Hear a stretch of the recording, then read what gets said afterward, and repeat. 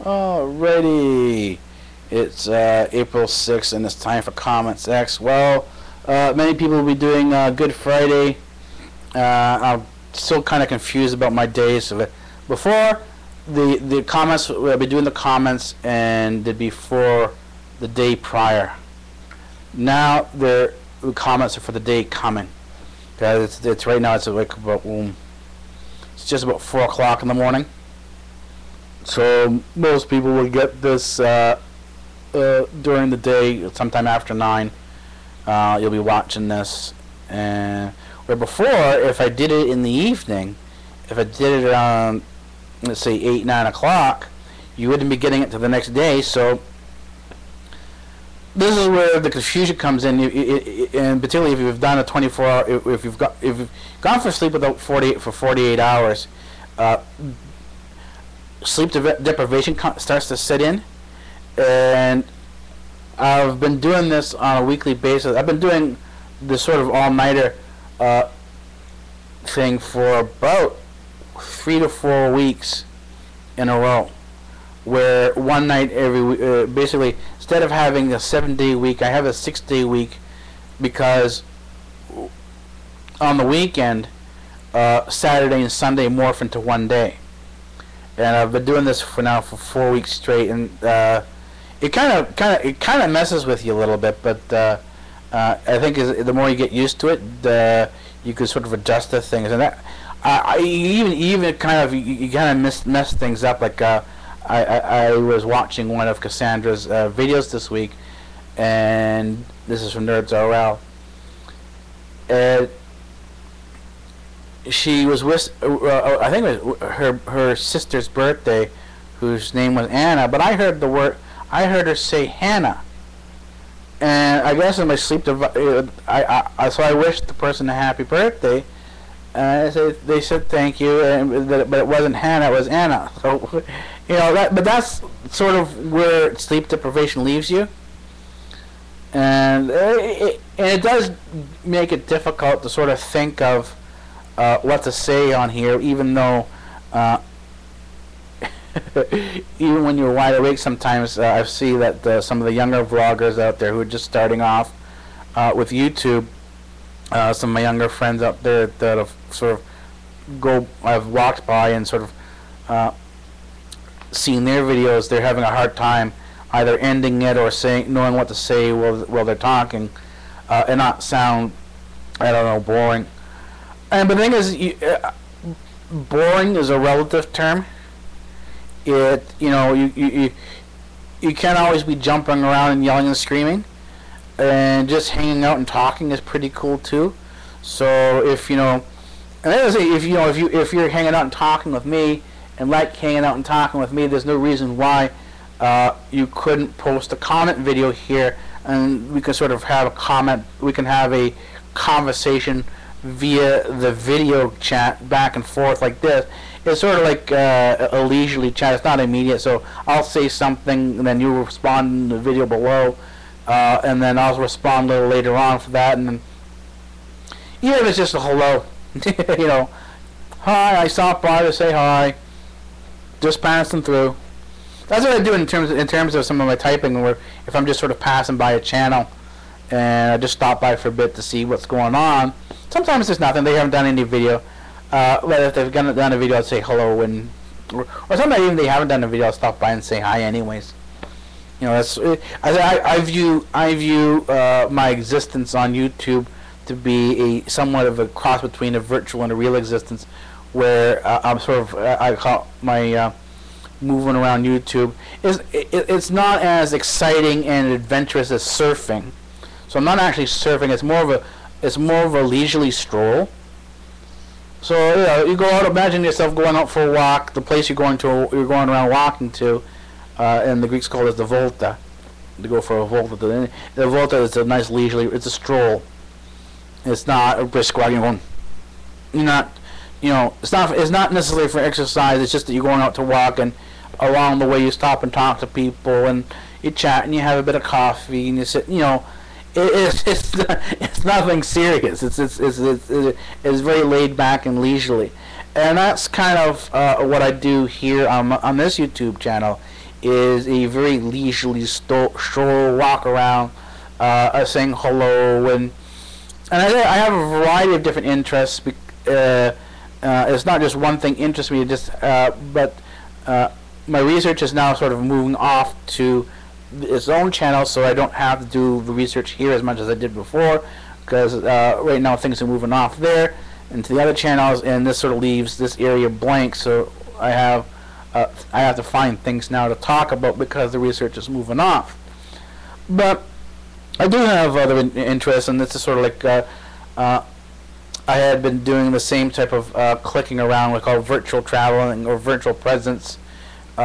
Uh, I had uh, done that in Japan. Uh, what I mean in Japan, I, didn't physically go to Japan, but uh, I started surfing the websites in Japanese in, in, from Japan, and I made friends over there.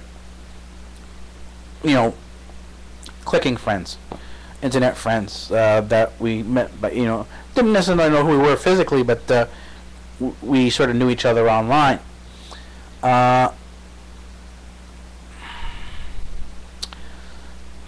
Got out of that for a bit, and so that was sort of that was a dry period there. So I, I now have uh, friends um, here now that I go around, and I sort of people that I go around and say hello to, and uh, stuff like that. It's not again, it's not the type of friendship where you're over the house every single day. I think maybe we call it uh, for a very it's friendly in nature, but it's more of an acquaintance. Acquaintance, uh, somebody who uh, you'll go by and see, and you'll behave neighborly to them, but you're not there uh, moving in. You're not there in terms of you're not their BFF. You're there sort of hanging out and saying hello.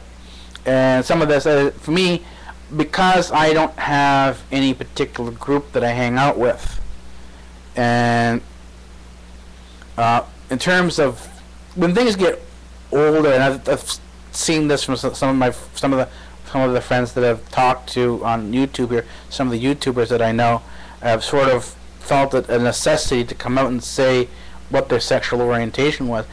It, it, that, doesn't bother me. Whatever you, it, that's your own personal choices there. And my thing is, is that, and this is true whether it's for a boy or a girl.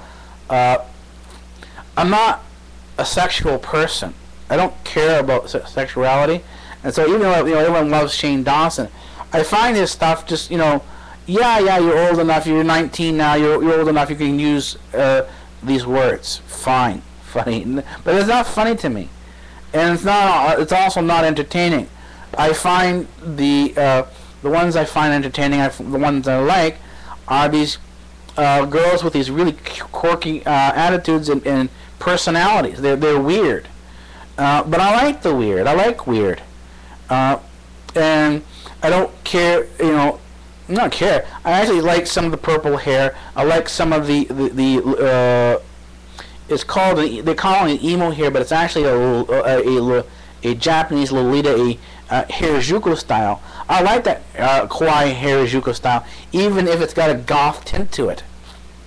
Uh, so I like that. That's, that. I think that's pretty cool.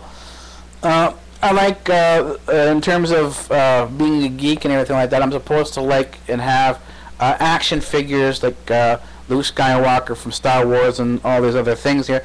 But that's not my particular thing. I, I like uh, I like the girl the dolls like uh, Moxie Girls. I think Monster High is pretty interesting. So when I see videos of girls sort of describing this stuff, I see that you know, that's kind of interesting for me. But then again, I'm also uh, still watching uh, uh, as I'm doing my work. I'm watching Lizzie McGuire, uh, Zoe 101. They're still on, uh, and I have them in my in my video library anyway. So even if they're not on, I can always you know go into my video library and and, and uh, watch it. But I watch uh, what is it? Uh, iCarly's, uh, Victorious, uh, SpongeBob SquarePants, Fairly Odd Parents. All, all the what they consider to be the kid shows, and the argument is is that oh aren't you mature enough to start watching some of the old, old the the more so-called mature shows? But most of the mature shows that I've seen, and I've seen a large chunk of them. I keep going back and sort of people say, "Oh, you got to try this one."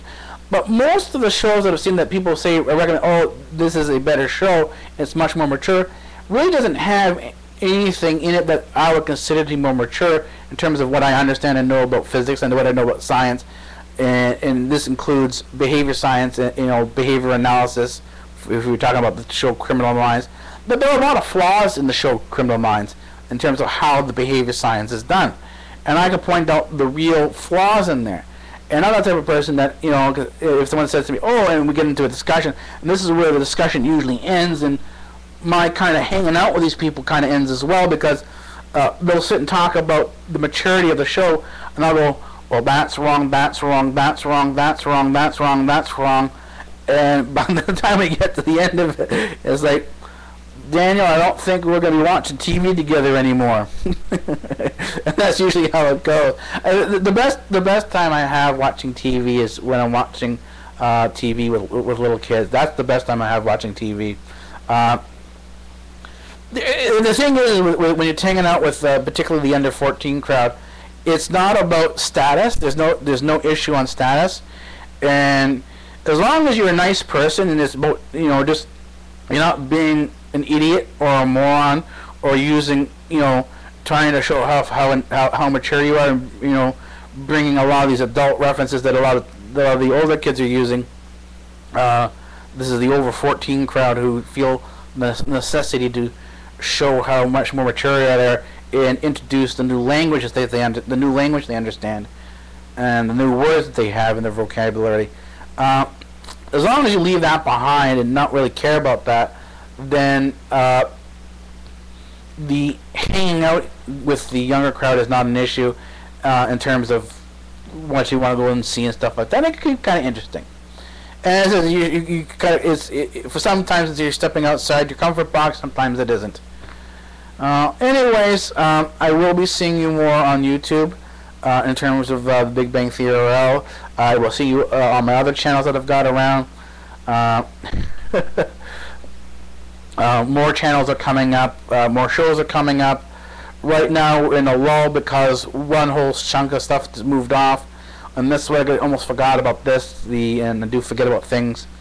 And that's so the Bass Institute channel. I was supposed to have a show up, the a segment of the Adventures in the Library up on Wednesday, but that didn't work out because uh, there is a problem. A, a, a glitch got into uh, YouTube's uh, video editor, and uh, what I was expecting to edit never ended up showing up. So uh, I'm going to try again on Friday uh, and put together the segment. So basically, Wednesday's segment is going to be Friday, and then it'll be again Friday, Wednesday, and Thursday. Friday, Wednesday, and Thursday. Uh, Monday, Wednesdays, and Fridays will be the will be the postings for the Adventures in the Library. I will be uh, uh, uh, uh, sort of attaching to my Goodreads uh, profile the Bass Institute channel in addition to the to the Cyborg Alpha V1 channel where Big Bang Theory RL is. Big Bang Theory RL, Big, Big Bang Theory RL is the main show that's behind the scenes, and then everything else kind of uh, grows out from there. Anyways, uh, that's not for the Bass Institute. I've covered everything else that I need to sort of, or that I can remember at this particular point in time. And so I will see you, particularly for people who are doing VEDA, I will see you tomorrow. Um, no, I'll probably see you around the end, and I'll stroll around. I'm going to start my clicking now. Alright. Free speech rules here at Democratic Earth.